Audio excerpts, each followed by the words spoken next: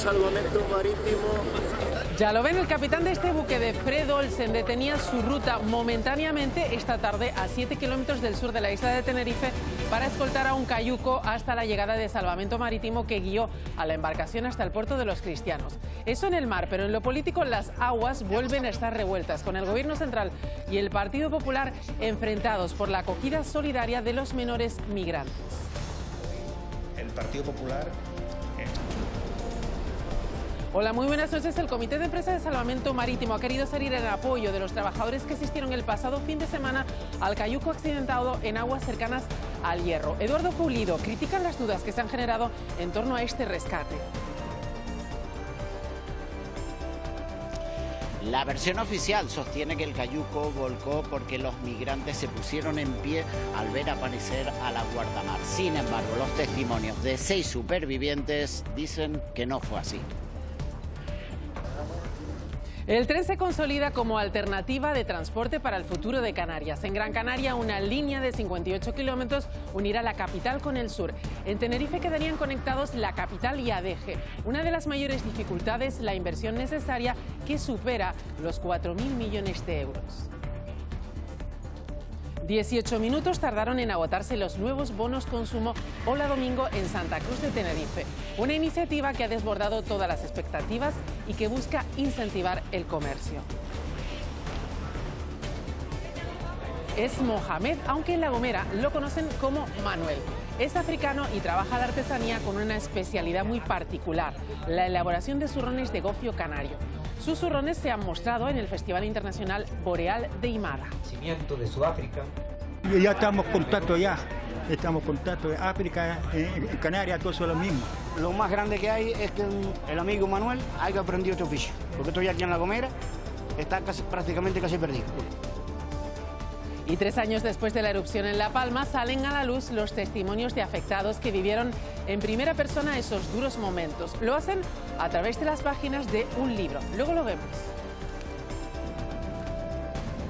Conocemos ahora un adelanto de la previsión meteorológica para el arranque de esta semana. Tamara. Este lunes, Isabel destacará sobre todo eh, la disminución de las temperaturas, temperaturas que van a bajar incluso de 3 a 4 grados en zonas de medianías y cumbres. El viento soplará del noroeste y traerá consigo nubosidad de tipo alto que predominará ya que cubrirá gran parte de la provincia occidental. También las veremos en forma de intervalos en las islas orientales, además de nubosidad de tipo bajo. Eso sí, en estas islas eh, a mediodía destacará el sol y atención porque el martes se espera algo de lluvia débil en el archipiélago. Les damos todos los detalles tras los deportes.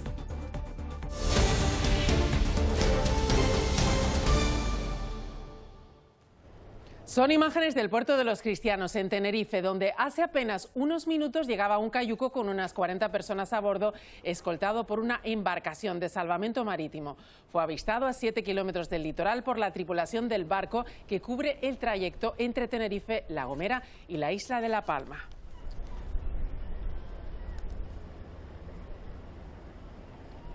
Esta llegada se cumple justamente cuando se cumplen nueve días de la eh, llegada y del siniestro que se produjo justamente a seis kilómetros de la costa de la isla del Hierro con ese accidente de un cayuco, de una embarcación. En las últimas horas han arreciado las críticas y el sindicato mayoritario de Salvamento Marítimo ha querido defenderse, Eduardo Pulido, de esas críticas en torno a ese rescate.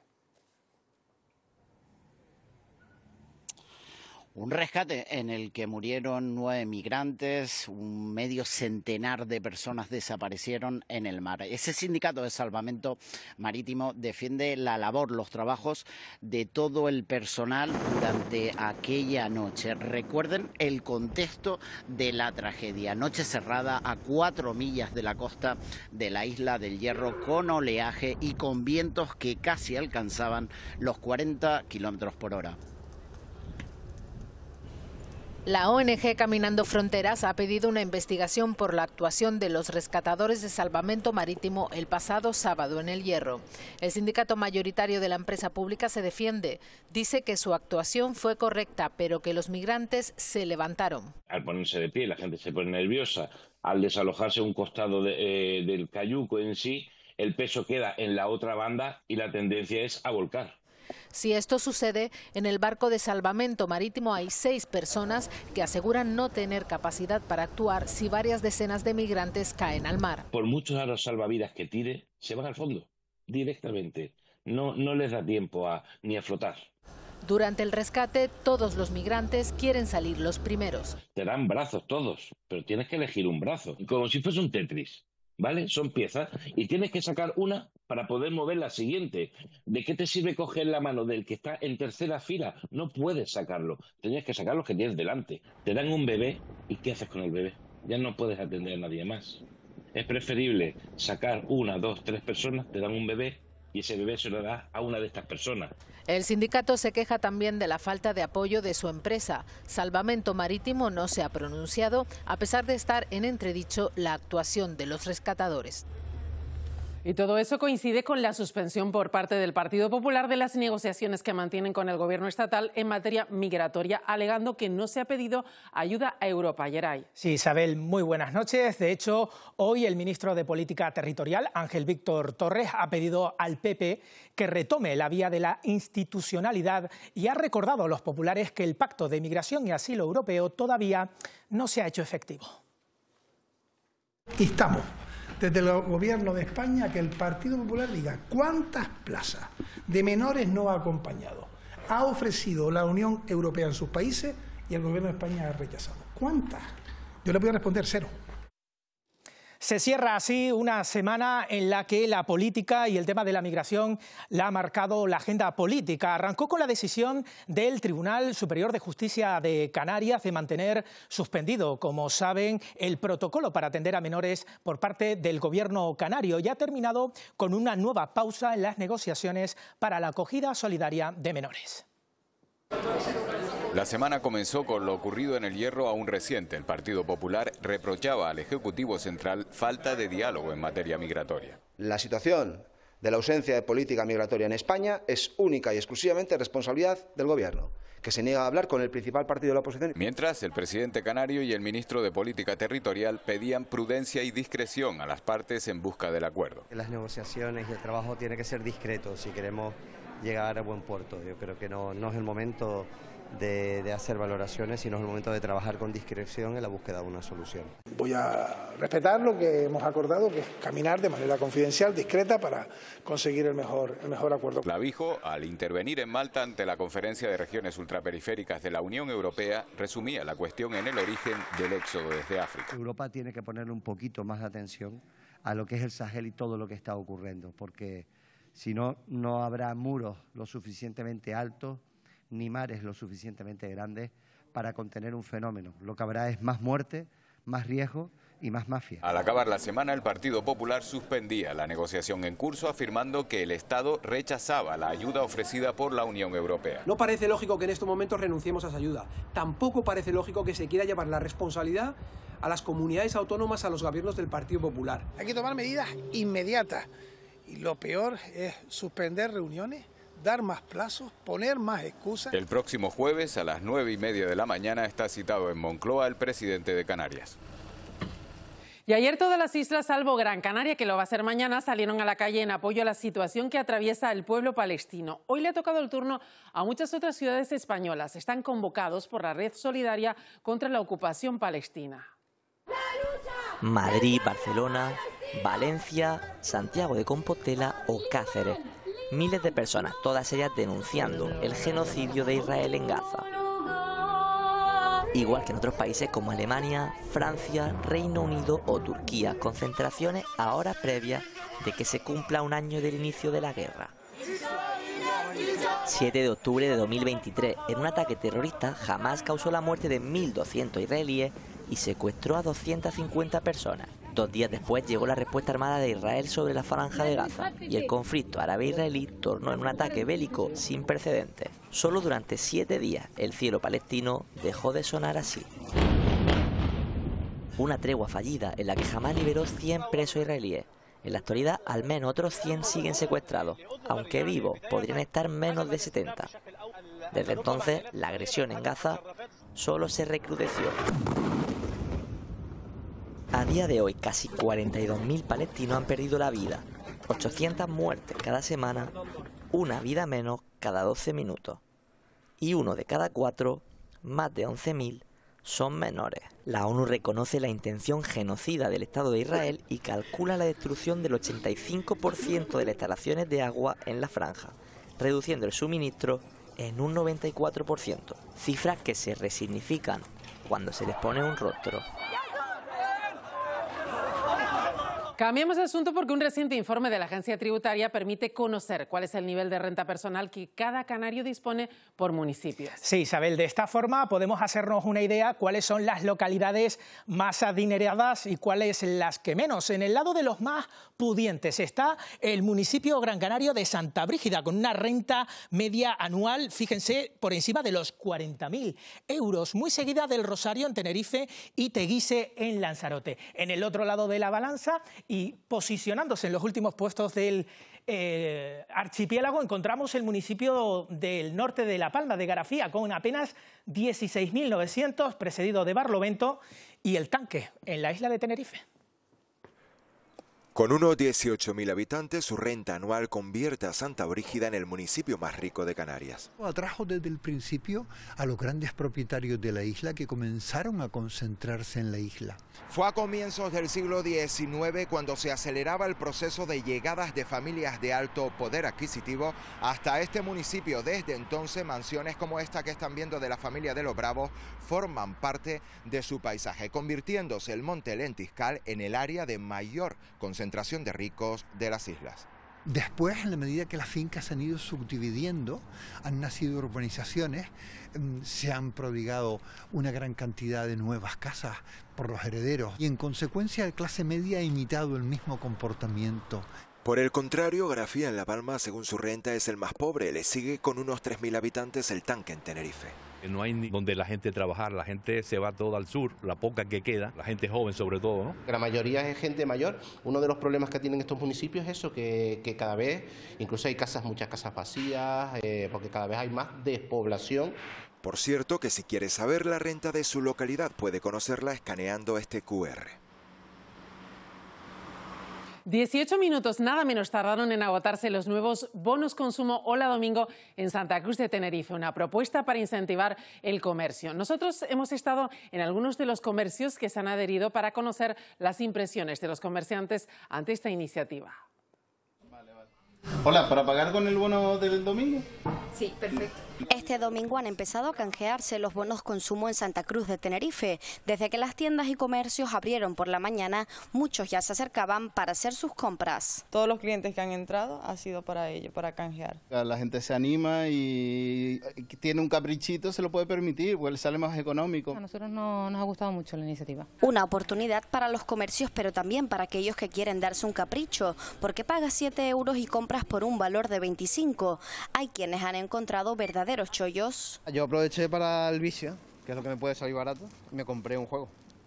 El Zelda. Me he pillado ahí unos, unos tenis que ya estaban en oferta de por sí, entonces literalmente me ha salido por menos de 12 euros. Siendo una manera de fomentar la actividad económica en la capital chicharrera, los bonos se agotaron el pasado viernes en un tiempo récord de 18 minutos. Lo que estamos aplicando con los bonos consumo es un incentivo para aquellos que quieran hacerlo puedan hacerlo y además les sea más o menos rentable. Y atención a quienes no llegaron a tiempo y querían pillarlo, porque todos los viernes de octubre saldrán nuevos bonos que se podrán consumir cada domingo del mes.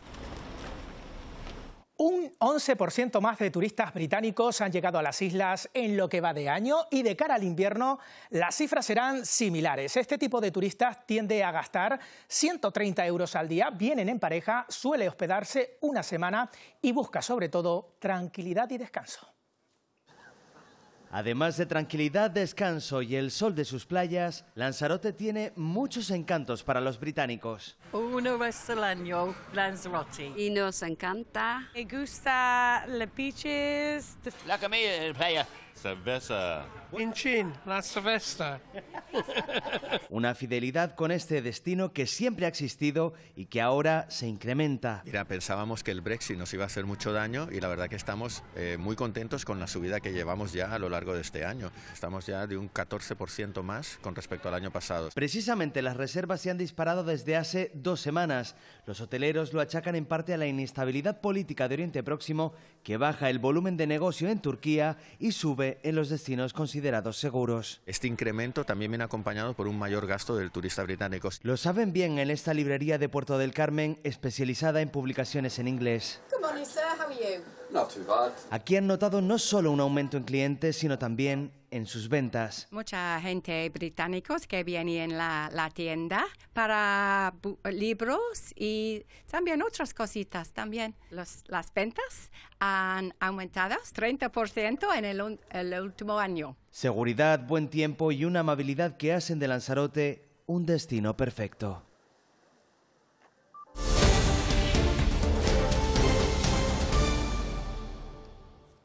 Este que ven era el momento en el que una senderista era rescatada en la cumbre Gran Canaria este mediodía. Se trata de una mujer de 70 años de edad que se cayó en una zona de difícil acceso en la ventana del Roque Nublo, en Tejeda. Hasta el lugar se desplazó un helicóptero del GES. Una vez localizada, se procedió a su rescate. Posteriormente, fue trasladada con varias contusiones de carácter moderado hasta el hospital Dr. Negrín. Mañana es lunes y con el comienzo de la semana volverán también las aglomeraciones de tráfico. Tanto en Gran Canaria como en la isla de Tenerife hay proyectados dos trenes precisamente para tratar de hacer en un futuro próximo, Paco Sánchez, más accesible el transporte. Paco. Efectivamente, no tan pronto como para resolver los problemas que se produzcan mañana en el inicio de semana, pero sí en el medio plazo si tenemos en cuenta la magnitud de estas obras. En Gran Canaria el Cabildo espera tener los terrenos necesarios para poder iniciar las obras en los próximos meses. En Tenerife está previsto que las obras comiencen en 2027. Se trata de dos trenes, el de Gran Canaria de 58 kilómetros, no el tren sino el trayecto, y el de Tenerife de 80. El Cabildo de Tenerife cree que las obras del tren del sur pueden arrancar a finales de 2027. Este medio de transporte permitirá a los tinerfeños colocarse en el sur en menos de 40 minutos. Con todos los estudios que tenemos, probablemente sería la línea, eh, vamos a llamarlo de cercanía, con más número de pasajeros solo detrás de Madrid. La primera fase está prevista entre San Isidro y Costa Adeje, donde se mueve medio millón de vehículos cada día. Yo entiendo que la gente sea escéptica, porque es verdad que se lleva hablando de los sistemas ferroviarios durante muchos años, pero la realidad es que en este momento hay un gobierno estable que permite darle un impulso. Avanzado está el tren del sur de Gran Canaria. En los próximos meses se espera que arranquen las expropiaciones de terreno para las que el Cabildo ha consignado 16 millones de euros en su presupuesto. Va a revolucionar también la concepción de la movilidad en Gran Canaria, puesto que creemos que el transporte guiado quitaría una parte muy importante del tráfico de lo que es el vehículo particular. El trazado, que discurre la mitad en superficie y la otra mitad soterrado, va a cambiar completamente la movilidad de la isla. Ya no es cuestión de construir más carriles, sino de tener un transporte guiado que en 15 minutos conecte el aeropuerto con el sur turístico. Los dos cabildos están coordinados con Madrid y pedirán financiación europea para estos trenes. El sistema público de transportes protagoniza el último desencuentro en el grupo de gobierno del Cabildo de Gran Canaria. Los socialistas se han comprometido a integrar las cinco empresas concesionarias del servicio de guaguas, entre ellas Global, en una sola 100% pública. Lo hacen, dicen, para proteger a los miles de trabajadores que dependen de estas compañías. Una propuesta que no ha sentado nada bien en las filas canaristas. A mí un uso partidista mm, de una empresa y de unos trabajadores con un objetivo interesado, partidista, me parece cuestionable. Vamos a hacer una auditoría milimétrica de global, céntimo a céntimo, milímetro a milímetro, para saber de qué estamos hablando y luego para saber cuál es la decisión a adoptar. Y tras una semana de negociaciones entre el Ayuntamiento de Reño de la Frontera y la compañía Naviera Armas, se ha logrado fletar un barco especial para poder trasladar hasta el Hierro maquinaria especial. Este que van a ver era el momento en el que desembarcaban en el puerto de la Estaca las grúas de grandes dimensiones. Este mismo domingo, una de ellas ya trabajaba en la zona de la Maseta para poder construir una nueva piscina. En La Laguna, en Tenerife, los conductores que tengan coche con más de 25 años ya no van a tener que pagar o tener ventajas fiscales. Mejor dicho, el ayuntamiento ha eliminado la dispensa del impuesto sobre estos vehículos, lo que se conoce como el rodaje. A partir de ahora, tener un coche como este en la laguna será un poco más caro. El ayuntamiento ha decidido priorizar las bonificaciones a los vehículos eléctricos frente a los antiguos, que producen una alta emisión de gases contaminantes. Mi coche tiene 23 años, los 25 iba a no pagar rodaje, pues, oh, pues ahora mismo no me parece muy bien, ¿sabes? De que tenga que pagar rodaje después de los 25 años. Es una medida que también busca evitar el abandono de los coches en la vía pública y reducir los accidentes de tráfico, pero no todos están de acuerdo en volver a pagar este impuesto. Lo que nos quitan hasta el aire y ya es impuesto, impuesto. Aplicar todavía aún más a los que ya estamos un poquito saturados. Para algunos, los coches eléctricos son la solución. Los coches eléctricos contaminan muchísimo menos que los coches antiguos. Pero los altos precios del mercado hacen más difícil comprar uno nuevo. Realmente no compensa comprarte un coche ni eléctrico ni nuevo, aunque sea de gasolina o gasoil, aunque consuma menos, porque los precios han subido una barbaridad. Ah, yo con el que tengo voy escapando. No se puede permitir uno un coche nuevo, y menos eléctrico. Según los datos del año pasado, en la laguna habían más de 20.000 vehículos con más de 30 años. Hoy hemos conocido a un migrante africano que elabora zurrones de gofio en La Gomera. Ha mostrado justamente Yeray su trabajo artesano en el pequeño caserío de Imada. Allí se ha celebrado la extensión del Festival Internacional Boreal. Emigró desde África hace más de 20 años. Mohamed no olvida la artesanía de allí, pero también hace algo muy de aquí, zurrones para el gofio canario. Ya estamos en contacto ya estamos en contacto. África, en, Canarias, todo eso es lo mismo. A Mohamed en Alájero lo conocen como Manuel. Lo más grande que hay es que el amigo Manuel haya aprendido este oficio, porque estoy aquí en La Gomera, está casi, prácticamente casi perdido. Y casi la misma técnica que la hacía mi abuelo. Agüita tibia calman los dolores. Canciones dedicadas a las hierberas, a las mujeres curanderas gomeras o cestería, o ideas llegadas de otros puntos de Europa todo ha cabido hoy en la plaza del pequeño caserío gomero de Imada. ¿Por qué siempre mover a las personas de los pueblos chiquititos a los espacios grandes y centralizados? ¿Por qué no viene la cultura al lugar pequeño? Eso ha sido posible gracias a la extensión del Festival Internacional Boreal. Nos interesa mucho llegar a todas las islas y a todos los rincones posibles, por eso también queremos y queríamos llegar a Imada porque nunca habíamos entrado a La Gomera. El Festival Boreal, que se está celebrando desde hace ya un montón de años en Los Hilos, ha elegido espacios eh, que no sean urbes, sino pueblos. Multiculturalidad sin olvidar nuestra propia esencia. Y la capital majorera celebra sus fiestas en honor a Nuestra Señora del Rosario. La Concejalía de Bienestar Animal del Ayuntamiento de esa localidad ha lanzado una iniciativa solidaria. Se trata del primer paseo canino en el que se recorre una milla. Se pretende así apoyar a los animales, fomentar el cuidado responsable de las mascotas y promover el abandono cero. La verdad que estamos bastante contentos con la realización de estos eventos y de poder traer los animales y disfrutar de una jornada así. Deberían hacerse mucho más para tener la oportunidad de poder salir con los perros y hacer cosas diferentes y que se relacionen entre ellos. Y el municipio Gran Canario de Valle Seco ha celebrado hoy el Día Grande de la Fiesta de la Manzana. Sí, una celebración del producto estrella del municipio en la que no ha faltado la música, la comida ni la bebida. La manzana, en concreto la reineta, tiene muchos admiradores en Valle Seco. Admiradores a los que les gusta hacer dulces con ella.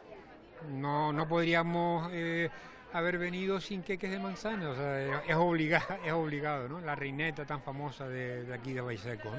O que prefieren usarlas para hacer sidra, natural y con un poco de gas. Eh, tanto gusta una como la otra, porque la natural, mucha gente que defiende mucho la bebida que sea natural, lo 100% natural. Pero es verdad que la gasificada un poquito más dulce y gusta mucho también. Precisamente la sidra, que es un producto muy apreciado en Asturias, es el nexo con la fabada, también asturiana, que se ofreció como degustación a los asistentes y que se puso a prueba ante paladares asturianos. Por eso, porque sabíamos que era la fiesta y hemos venido a eso, la fiesta. Pero seguro que se han esmerado y lo hacen bien. Tras la misa, la procesión, el mercado de artesanía, fabada, quedó tiempo para la música, con grupos como Calima Limón o Los Lola, y para que el cómico Quique Pérez pusiera el fin de fiesta hasta el próximo año. La ONG Juntos por Camboya ha organizado un mercadillo solidario que ha acogido el Club Victoria en Las Palmas de Gran Canaria, una cita que ha servido para recaudar fondos para la organización con base en ese país. Actos como este sirven para unir lazos entre quienes luchan por los derechos de los niños y las niñas, especialmente aquellos menores desamparados que trabajan en la calle o que no tienen acceso a la educación. Pues trabajamos principalmente en la ayuda humanitaria centrada en la infancia más vulnerable y en los derechos de los niños que sufren pues mm, abuso físico, abuso mental, pedofilia, estamos muy volcados en la pedofilia, explotación infantil, tráfico humano.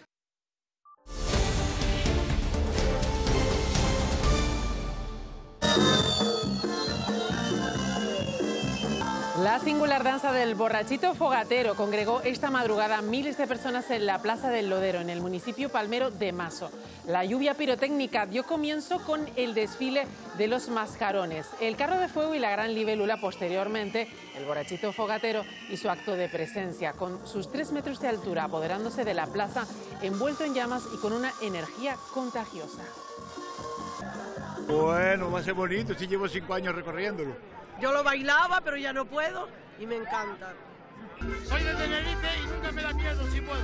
Este año es espectacular. Mucha euforia, mucha diversión. Genial. Esta es la mejor fiesta que hay. ¡Viva el borrachito! Y tras un fin de semana de celebraciones, el pueblo de Femés, en la isla de Lanzarote, vivía hoy su día grande en honor a su patrona, la Virgen del Rosario. Así como ven a ritmo de la música y también arropado por más de un centenar de vecinos, la Virgen ha salido en procesión por las calles del pueblo, un recorrido más largo que el año anterior. A pesar de que son pequeñitas, está siendo muy participativo en cuanto a los vecinos y vecinas del pueblo de Femés. Y bueno, la gente la verdad que se ha animado, estamos muy contentos, el ambiente es un ambiente de pueblo. Yo me la paso todo el año deseando que llegue este día porque para nosotros los vecinos del pueblo es increíble que esta fiesta se haga. Disfrutando aquí, manteniendo las tradiciones con, con los niños. Y es una fiesta que se junta a mucha, muchas familias. 7.000 personas fueron evacuadas de sus hogares durante la erupción del volcán en la isla de La Palma. Sí, tres años después, ahora ve la luz el libro 85 días, el volcán Tajo Gaite, Impacto Social, así se titula, unas páginas que buscan dar testimonio de cómo vivieron los afectados esos duros momentos. Y cuando reventó, ella estaba en casa con su hija Tagisa, Así relata uno de los afectados por el volcán el inicio de la erupción. Es uno de los 20 testimonios reunidos en la obra de Vidal, una profesora jubilada que viajó a La Palma y comprobó el impacto que tuvo este fenómeno natural. Cada uno me daba versiones muy diferentes de, ambiente, de ámbitos muy diferentes relacionados con la erupción.